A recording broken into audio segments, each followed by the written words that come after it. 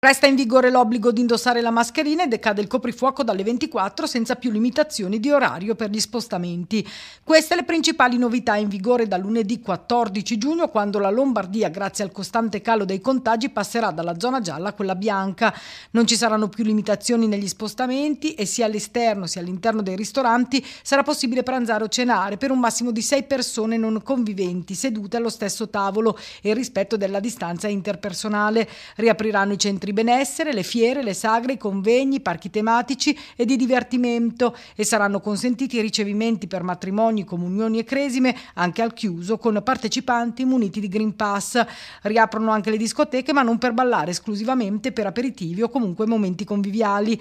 Le mascherine dovranno essere indossate regolarmente sia quando si è all'aperto sia quando si è all'interno dei locali, in luoghi diversi dalla propria abitazione, ad esclusione dei bimbi sotto i 6 anni. Non è invece obbligatorio indossare la mascherina mentre si effettua attività sportiva.